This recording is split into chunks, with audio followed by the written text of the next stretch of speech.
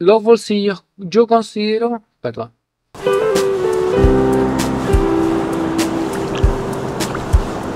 Hola, ¿qué tal? Bienvenido a un nuevo capítulo del canal Simonuca con Mosca. Estoy aquí mostrándoles a ustedes la chubasquera, rain jacket, chaqueta para el agua, dependiendo del país donde vivan el nombre que le ponen, de la marca Airflow. Como dice ahí en la etiqueta, estoy con un puntero porque la cámara está en una posición bien difícil. El modelo es el AirTex Pro o AirTex Pro. Lo venden acá en España. En Chile es probable que lo puedan pillar a lo mejor en Fly Fishing Store. Desconozco. Esta campera que ven acá, o chaqueta, la tengo porque como me falló el carrete JMC Jotoninf, me salió malo. En vez de que me lo devolvieran, preferí la plata y con la devolución del dinero en la misma tienda Rusuno compré la chaqueta. Es una chaqueta de tres capas, de, a los que les interesan los datos más técnicos, de 8000 milímetros de impermeabilidad. Cuesta 116 euros en Urusuno, en la página web oficial de la marca, en Airflow. Voy a dejar un link a ambas páginas acá en la descripción del video. Cuesta 119 libras, lo que traducido a pesos chilenos vendría siendo algo así como 120 mil pesos. Aprox. Es una chaqueta relativamente barata, pero que tiene algunas características que me interesaron. Primero el precio, segundo que sea de tres capas, de que sea respirable. De respirabilidad es una respirabilidad de 3000 gramos por metro cuadrado, metro cuadrado en 24 horas. Lo menciono porque hay muchas personas que practican la pesca con mosca, que además practican otros deportes outdoor y esos números a lo mejor les pueden interesar. Las costuras son y acá son selladas, sin embargo, si se fijan aquí, la costura detrás de esta costura de una tela y en los comentarios del fabricante de Airflow dicen que los bolsillos si se sumergen el agua entra. Tenerlo en cuenta, son costuras en la chaqueta, no los cierres, sino que las costuras sí son selladas y están termoselladas, no, perdón, están selladas con material al otro lado de la tela, como en la mayoría de las prendas de este tipo. Otra característica interesante es que el gorro se puede guardar y almacenar, tiene unos velcros, no lo voy a mostrar ahora, más adelante se los voy a mostrar cómo se ve, en estos momentos está con el cuello, con el gorro a la vista por decirlo de alguna manera, tiene amarras elásticas a ambos lados y atrás para ajustarlo bien. Yo cuando ando con este tipo de chaqueta me gusta andar con un jockey, a pesar de que en esta parte del gorro es un poquito más rígido. Sin embargo, a pesar de esa rigidez, encuentro que con un jockey queda mucho mejor. Sigamos, otra cosa que me interesó son sus puños. Los puños, como pueden ver acá, son regulables a través de esta banda pero tiene una tela que es bastante interesante. No sabría decirle qué tipo de material es, no, lo estuve buscando, no lo pillé, pero no es el mismo material de la tela, es como de una goma, lo he visto en otras chaquetas, no sé cómo se llama, pero permite o evita, en el fondo permite una mejor sellado entre la piel y la chaqueta para que el agua no entre por las mangas está bien pensado y cuando uno no está lloviendo a cántaro, acá en Chile se dice a cántaro, pero cuando no está lloviendo mucho, se puede poner aquí sin necesidad de aprisionar tanto la manga. En ambos lados es igual. La otra ventaja es que en el cuello, alrededor de todo el cuello, eso negro que se ve ahí, vamos a mostrarlo, ahí, eso es microfibra, entonces es una sensación muy agradable al cuello.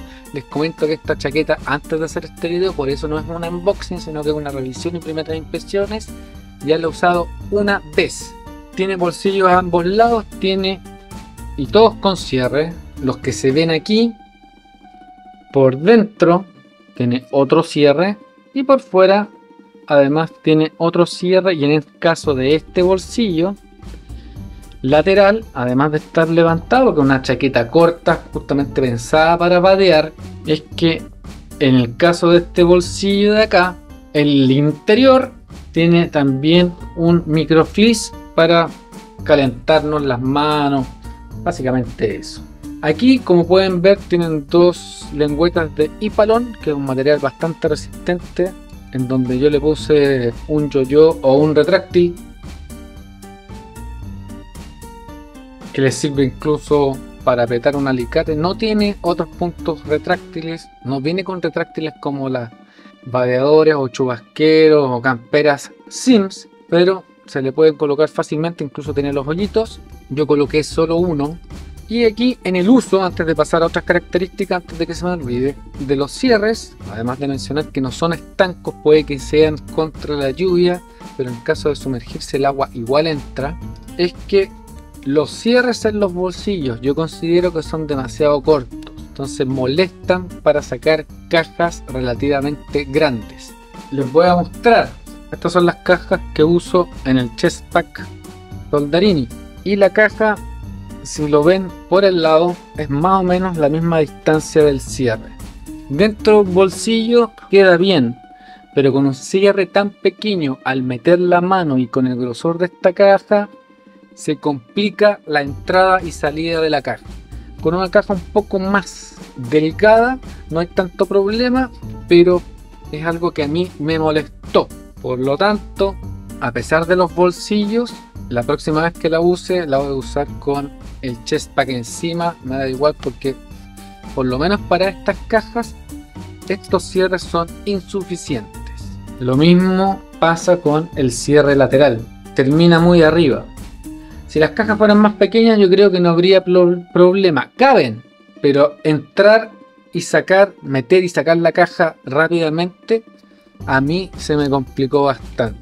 Y no son cajas tampoco muy especiales. Sin embargo, las cajas que usan normalmente la gente para pescar con ninfa o qué sé yo son más delgadas y no deberían tener problemas. Pero quise comentarles mi experiencia con estas cajas. Por si están pensando en comprar una chaqueta como esta y le están dando vuelta si sí o si no.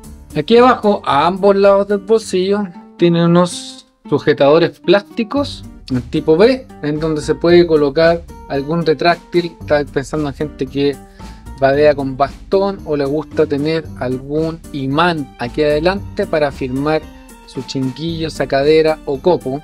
Y en la parte trasera de la chaqueta es lisa, no tiene un bolsillo gigante atrás, pero sí tiene aquí un lugar donde colgar la sacadera y estos velcros funcionan para que cuando enrollo el gorro, esto de acá, el gorro queda escondido y no molesta. Muchas veces esta chaqueta, el gorro no queda bien guardado, hay gente que le molesta, hay gente que no, pero mencionar que esta chaqueta tiene la facilidad de guardar ese gorro. Y finalmente la última característica que tiene es que tiene un bolsillo en la manga izquierda en donde guardar cosas, vuelvo a repetir, no necesariamente, a pesar de que es engomado y todo, no es necesariamente es estanco. Puede que funcione bien con la lluvia. Yo el día que salí a pescar puse papel aquí adentro justamente para probar si con la lluvia se metía el agua y no se metió. Sin embargo, debo destacar que acá en el lugar donde estoy viviendo, en Asturias, hay una lluvia conocida como Orbayu en asturiano. Y ese tipo de lluvia más bien viene a ser como algo como una garuga o algo bastante que no es niebla, pero tampoco es lluvia. Y es muy constante, moja harto, pero en cuanto a milímetros de agua o la intensidad o el tamaño de las gotas son bastante leves. Al final del día me llovió harto, sí, pero por 20 minutos y en ningún bolsillo en donde almacené les voy a mostrar porque en, todos puse un pedazo de confort para ver si el cierre se pasaba no se pasó. No estoy diciendo que no lo haga siempre ha sido mi experiencia a la fecha. Les repito que la experiencia de otros usuarios ha sido que el agua se les ha metido al bolsillo.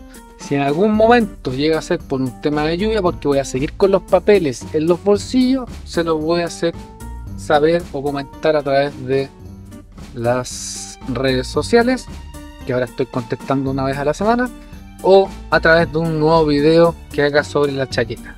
La talla, bueno, yo mido 1,76m, peso alrededor de 72 kilos, soy en fondo relativamente delgado, no tengo ponchera cervecera y la talla M me queda bastante bien. Y acá otro tema importante, me queda bien con polera, con polerón. No sé si me va a quedar bien con parca, yo creo que sí, pero más o menos quedaría, me sentiría un poquito empaquetado. Se los comento al tiro, no lo he probado, pero la sensación que me da la chaqueta con una polera y un polerón encima, me queda bien. Y pensando en esa situación, dije, chuta, y a lo mejor con una parca esto no va a andar bien.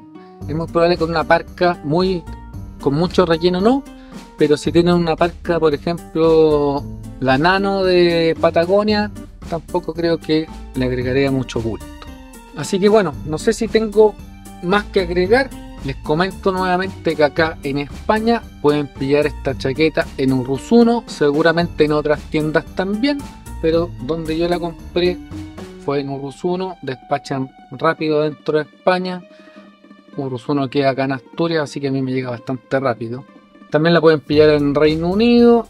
Y nuevamente para todos los suscriptores del canal que son chilenos y están en Chile, es muy probable que si insisten bastante, la tienda Fly Fishing Store las pueda estar trayendo.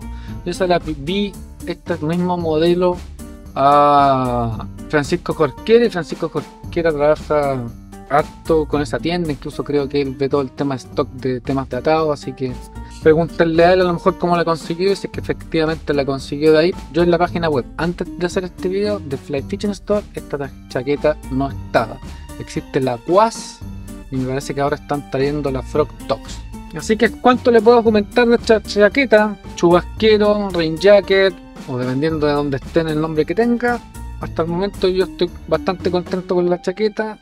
Aquí la probé en el verano, son lluvias de verano y les puedo comentar que con polera igual sentí calor y sentí que no es tan transpirable obviamente como el Gore-Tex, pero por lo menos tengo una chaqueta o chubasquero para el agua para poder salir a pescar independiente de si está lloviendo.